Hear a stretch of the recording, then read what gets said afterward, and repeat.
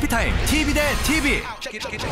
음, 내 이상형은 일단 키는 180 정도에 눈은 장동건, 턱선은 현빈. 뭐 김인석 정도? 13살이 되던 해부터 완벽한 남자를 찾아 헤맨 한 여자가 있습니다. 어휴, 조건 같은 거는 필요 없어요. 한 시간이라도 잘 수 있게만 해준다면. 불면증으로 인해 수면제 같은 남자가 이상형인 한 여자도 있습니다. 해피타임 TV 대 TV. 자신만의 독특한 이상형을 찾는 여자들의 이야기. 완벽한 남자를 만나는 일에 관하여 그리고 당신이 잠들 때까지입니다. 먼저 완벽한 남자를 만나는 일에 관하여입니다. 초등학교 시절부터 완벽한 남자를 꿈꾸던 내가 소녀 금주. 완벽한 남자에 관해 꿈꾸기 시작한 것은 국민학교 6학년이 되던 그 해였다. 그 시절 나에게 완벽한 남자의 기준은 역시 조용필이었다. 너 가져. 같은 반 친구 희주는 사진의 반 이상을 차지하는 거대한 얼굴 크기의 조용필 사진을 선물하고 뭘? 화장실. 자신의 열애설에 대해 듣게 된 금주는 그때 그 시절 스캔들의 근원지 화장실로 달려가고 유력한 용의자 희준에게로 향하는데요.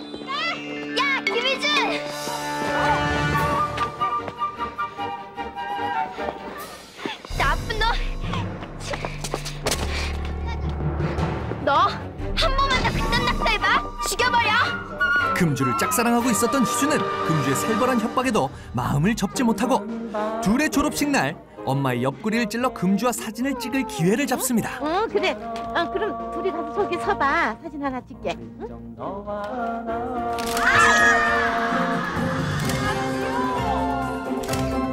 강렬한 첫 뽀뽀의 추억을 남긴 채 몇 년이 흐르고 대학생이 된 금주의 완벽남 찾기도 계속되고 있었는데요. 대학생이 저렇다. 도서관에서 만난 남자에게 금주는 첫눈에 반하고 그는 모든 사람들이 보란 듯이 잔디밭에서만 독서를 하는 남자. 단추를 풀면 풀어서 멋있고 단추를 채우면 채워서 멋있는 남자 말이다. 암튼 난 한눈에 그가 완벽하다는 걸 느꼈다.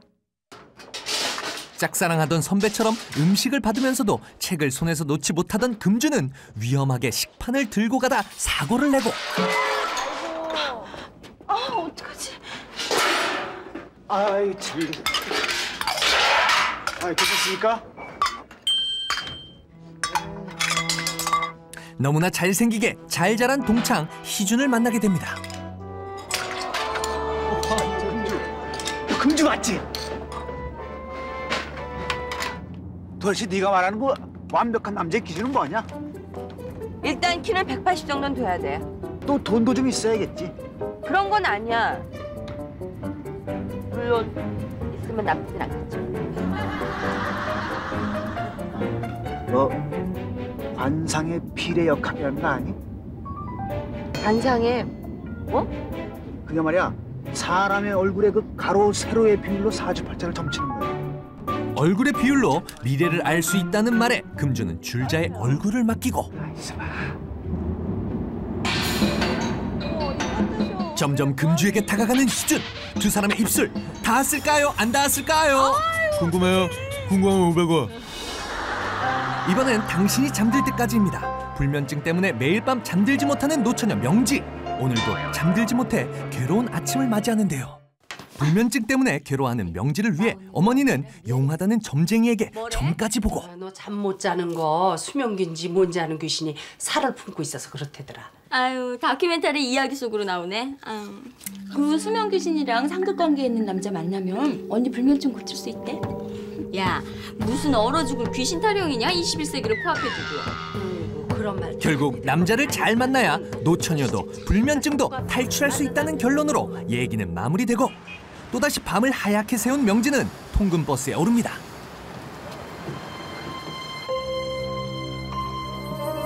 같은 회사 직원 호연도 통근버스에 오르고 명지의 옆자리에 앉게 되었는데요. 잠시 후 통근버스는 회사에 도착하고 모두가 내리는 사이 이게 웬일? 명지는 입사 6년 만에 통근버스 안에서 잠드는 기적을 경험합니다.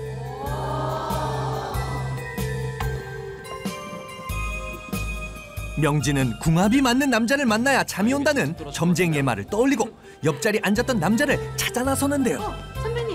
너저 사람 알아? 강호연 씨요? 강호연? 얼마 전에 우리 시작회에 들어온 사람이에요. 여기서 잠깐 이윤정 씨, 나 강호연인데요. 호연은 잘생긴 외모와 재치 있는 말솜씨로 회사 내에서 유명한 바람둥이로 통하고 있었는데요. 좋겠네 정말. 딱한 번만 더 테스트 해봤으면 좋겠는데. 한밤중에 몰래 집에 숨어 들어가서 옆에 누워보는 거 말고 또 다른 방법 있을까요? 없을까? 그 방법은 바로 몰래 옆자리에서 영화 보기. 명진은 재경과 영화를 보러 온 호연의 옆자리에 몰래 앉고 잠시 후 영화가 끝나고 과연 결과는 브루스 윌리스가 또 지구를 구했네. 영화가 끝나는 것도 모르고 또다시 깊은 꿈나라로 또다시 호연 옆에서 숙면을 취한 명지. 정말 운명의 남자를 만난 걸까요? 궁금증을 해결할 시간. 다시 완벽한 남자를 만나는 일에 관하여입니다. 점점 다가가던 희준의 손에 가려 아쉽게도 보이지는 않았지만 또다시 기습 뽀뽀를 당한 금주는 당황하고 사실 아직도 금주를 좋아하고 있었던 희준은 자신의 마음을 표현했던 것이었는데요. 다음 날 금주는 친구에게 희준을 소개해달라는 부탁을 받게 되고 뭐? 너, 그, 희준이란 친구, 왜 그래? 할 거니? 안 할 거니? 하지만 희준은 용기 내어 뽀뽀로 표현했던 마음을 금주가 무시했다고 생각하고 홧김에 소개팅에 나가기로 합니다. 희준이야. 서로 인사드래.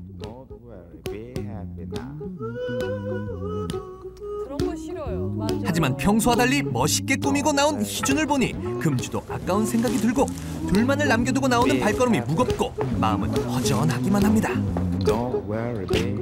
그렇게 다음 날 금주는 희준 때문에 잠시 잊고 있었던 완벽남 선배를 마주치게 되고 야, 오랜만이구나. 어머나 오빠 요즘 통 안 보이시더니요. 종종 연락해라. 붙어줄게.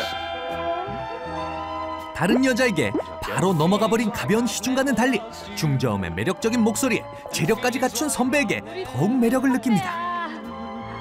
괜찮지? 응? 인기 많다? 여자친구 있어? 아니 내가 알기론 알지. 금주는 친구 봉숙에게 선배와의 소개팅을 부탁하고 바람직한 주선자 봉숙은 바로 자리를 떠납니다. 자갈 좋아해요? 어, 전 그림은 잘...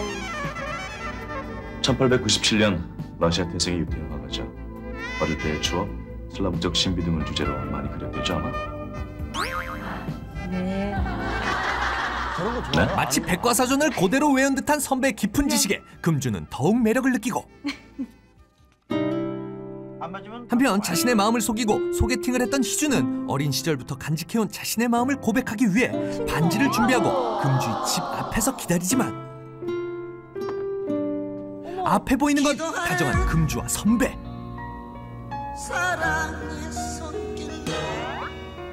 하지만 금주는 다른 여자를 만나놓고 나타난 희준이 얄밉기만 하고 보란듯이 선배와 다정한 모습을 보여줍니다. 희준에게 뽀뽀하는 모습을 보여준 금주 두 사람은 이렇게 엇갈리고 마는 걸까요? 다시 당신이 잠들 때까지입니다. 호연의 옆자리에 앉았던 명진은 또다시 깊은 숙면을 취하게 되고 진짜 이상해. 뭘까? 그 사람 무슨 수면가스 같은 거 뿌리고 다니나? 아니 괜찮아요. 전 아무렇지도 않던데. 어머 선배님 내일 마저 얘기해요. 네? 안 되겠어. 일단 대시해 볼래. 궁금해서라도 한번 정면 돌파해서 어떤 인간인지 좀 알아봐야겠어. 호연이 있을 때만 잠드는 이유가 궁금한 명진은 본격적으로 알아보기 위해 호연이 가입한 시 짓는 동호회에 가입하기로 합니다. 영양 돌솥밥. 물 위에 앉히고 익히고 뜸들이고 최소 30분. 긴 기다림 끝에 그 구수한 누룽지. 기다리는 자에게 낙이 온다. 기다리는 자에게 누룽지가 온다. 어, 이건 특별히 오늘 처음 참석한 박명지 씨한테 바치고 싶은데요. 됐어요. 전 원래 돌솥밥이나 뚝배기 같이 내내 뜨거운 음식 아주 싫어해요. 호연의 독특한 작품 세계에도 명진은 호연의 관심을 끌기 위해 더욱 도도하게 행동하고 자칭 타칭 바람둥이 호연도 명지에게 작업을 시작하는데요.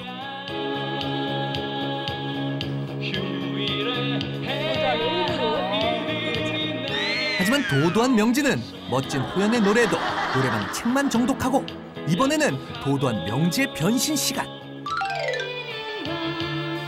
강 선배는 심수봉 매니아랬어요. 여자는 심수봉 노래를 시켜보면 즉각 매력 점수가 매겨진다고까지 했다니까요.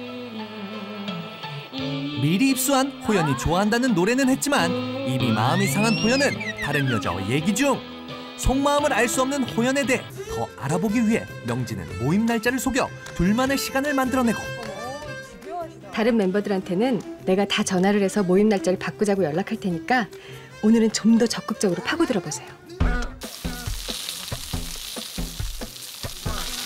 눈, 코, 입 다 제자리에 붙어 있긴 한데 아무리 뜯어봐도 편안한 구석은 없고 그땐 왜 졸렸지? 명지가 호연을 살피는 사이 노련한 호연의 작업 멘트가 시작되고 잔이 꽉 차서 넘실넘실한 거 보이세요? 나머진 제가 정으로 꽉꽉 채웠지 않습니까? 제가 재치 있고 아름다운 여인에게 줄 수 있는 건 정밖에 없거든요. 명지도 재치 있는 호연에게 조금씩 마음을 열어갑니다. 도도한 척하지만 귀여운 명지에게 호연도 매력을 느끼고 평생 한 여자만을 보면서 살아온 순둥이가 한 번 외도를 하면 헤어나지 못합니다. 하지만 이미 연애의 단맛 쓴맛을 다 본 사람은 절대 새삼스럽게 한눈 팔 일이 없어요. 준비된 남편감이 바로 저 같은 사람입니다. 과거를 솔직하게 털어놓고 진실된 마음을 고백한 호연의 말에 감동한 명지는 호연 의 마음을 받아들이고 재미있고 또 거기다 수면제 노릇까지 해주잖니? 선배님 이제 보니까 얼굴 진짜 싱싱해졌다.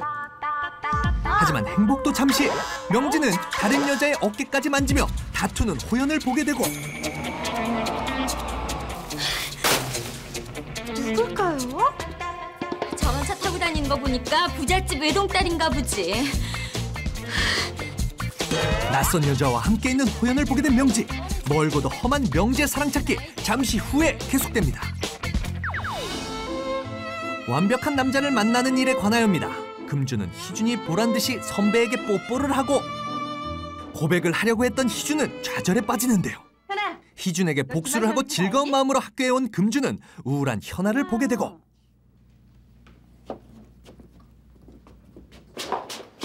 걔 이름이 희준이 맞지? 그 애 군대 간다고 저래. 당장 입대한다나. 너 다른 남자를 만나는 금주의 모습을 본 희준은 입대를 결심하고 뒤늦게 알게 된 금주는 나무의 기대 분위기 있게 충격을 감당합니다. 희준의 입대 후 금주는 허전한 마음으로 선배를 만나고 나는 지금 그가 얼마나 완벽한 남자였는지 얘기하려 한다. 그리고 연주회 갈 땐 가능하면 정장하도록 해. 어머! 아 뜨거! 아 뜨거! 아 많이 뜨거. 뜨거운 국물을 쏟은 상황 선배는 자신의 완벽한 스타일만 챙기고 금주는 자신만 생각하는 선배에게 실망하고 맙니다 몇 년 후 국물 사건 이후 선배와 헤어지고 혼자가 된 금주는 봉숙의 결혼식에 참석하고 딴 사람 같다 얘.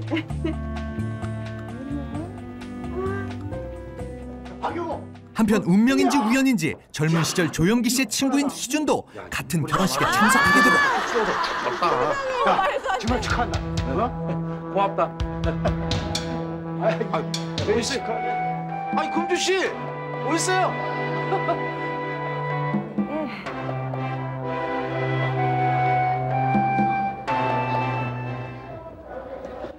오랜만이다. 오랜만이다. 오랜만에 만나 어색하기만 한 두 사람은 아쉬움을 간직한 채 헤어지고 하지만 서로에 대한 마음이 남아있는 금주와 희준은 서로를 떠올리는데요 간다.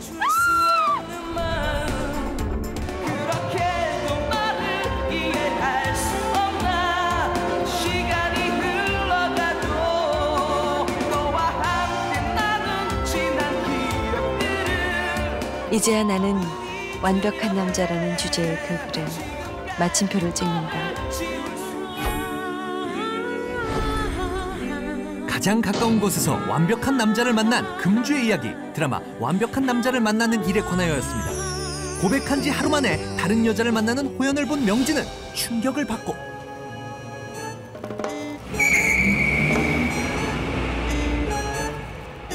지금까지 호연이 다른 여자와 양다리를 걸쳤다고 생각한 명진은 배신감을 느낍니다.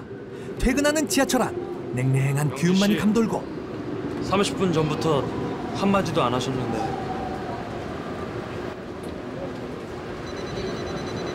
명지가 화난 이유를 알 수 없는 호연은 명지 앞에서 다른 여자의 전화를 받고 여보세요? 야 너 자꾸 전화하지 말라니까 너 왜 자꾸 그래? 큰일 나죠 알기 때문에 여보세요? 누구세요?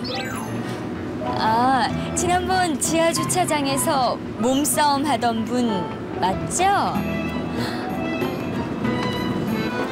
5년 전부터 사귄 여자친구분이시라고요? 충고 하나 할까요? 구관이 명관이에요. 시간 낭비하지 마세요. 과거 여자친구를 깨끗이 정리하지 못하고 있었던 것을 알게 된 명진은 호연에게 이별을 선언합니다. 얼마 후 동호회의 MT 날 MT? 죽어도 갈 거야. 가서 지가 나한테 발밑에 기어가는 개미만도 못한 존재였다는 걸 확실하게 보여줄 거야.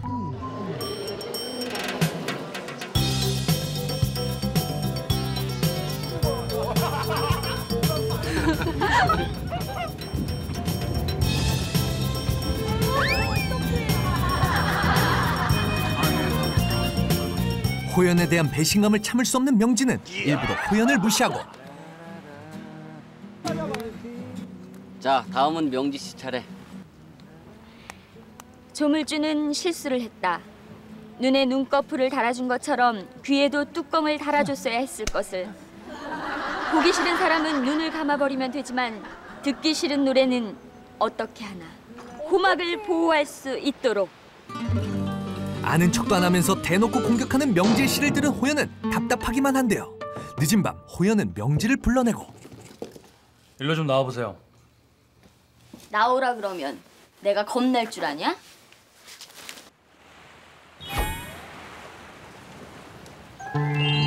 오, 이벤트. 깨끗이 정리했습니다 다신 전화도 안 할 거고요 저, 명지 씨가 생각하는 그런 관계 아니에요 정말입니다 진작에 그랬어야죠. 뭐예요? 벌써 한참 동안 양다리 걸쳐놓고 사과만 하면 다 끝나는 거예요? 장작 카트로 마음이 스르르 풀린 명진은 호연의 사과를 받아주기로 합니다. 고마워요 명지 씨